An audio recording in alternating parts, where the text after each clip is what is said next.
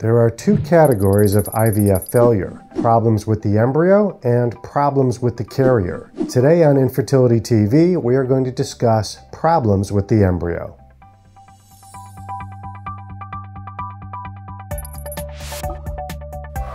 Problems with embryos make up the majority of IVF failures after embryo transfer.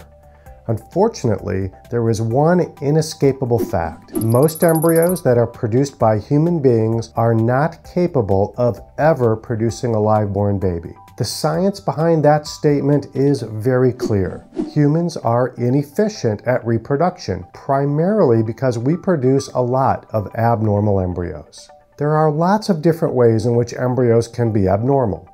As IVF specialists, there are some types of abnormalities that we can detect and others that we can't. The easiest abnormalities to detect are those that can be seen under a microscope. After fertilization, some embryos will not start dividing. Other embryos might divide for a few days and then stop. This is called embryonic arrest.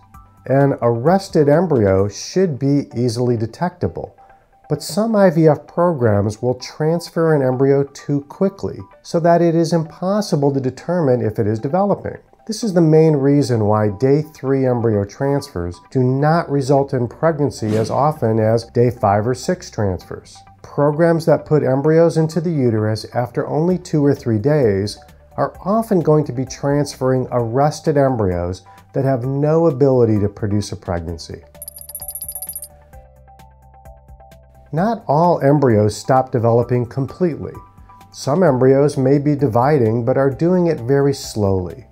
We know, for example, that embryos that are healthy and viable should reach certain stages of development at certain times. Embryos that are slow, that don't reach these milestones when they are supposed to, have a lower chance for pregnancy. In many cases, these are problems that cannot be fixed. These are still considered abnormal embryos, but these abnormalities are not as severe, and so sometimes these embryos may still be able to develop and implant into the uterus. Next, there are embryos that are dividing and doing so at the rate we expect, but which look abnormal under the microscope. Sometimes they can look dark or show lots of cells that are fragmented. Skilled embryologists can also detect abnormalities within the cells that indicate an embryo with a poor potential for pregnancy. Now, everything we've talked about so far can be detected using a microscope. There are some embryos that look perfect under the microscope, but have other kinds of abnormalities. The most common type of abnormality are embryos which don't have the correct number of chromosomes. A healthy normal embryo has 46 chromosomes, 23 that come from the father and 23 from the mother. It is extremely common for humans to have embryos with too many or too few chromosomes. We do have technology to detect these abnormalities. Watch this playlist if you are interested in learning more about pre-implantation chromosome testing. We do not have technology that will prevent embryos with chromosome abnormalities, nor do we have technology which can fix embryos. As women get older, they produce more and more embryos with chromosome abnormalities and less normal embryos. Sometimes you just have to get lucky to find a normal embryo. That is why creating many embryos is a big advantage when doing IVF. Now, some embryos have the correct number of chromosomes, but the chromosomes themselves are abnormal in some way. Sometimes chromosomes can have a missing chunk. These are called deletions. Sometimes they can have an extra piece called a duplication. Many of these abnormalities can be detected with current pre-implantation testing technologies. And again, these problems cannot be prevented or fixed. The strategy is to identify these abnormalities and dispose of those embryos rather than transfer them. Remember, chromosomes are the part of the cell which contains genetic information. Even though there are only 23 different chromosomes, they contain tens of thousands of individual genes. Each of those genes does something. Some genes are responsible for causing the embryo to divide. Other genes control its ability to implant in the uterus. and others control the development of the fetus and its organs.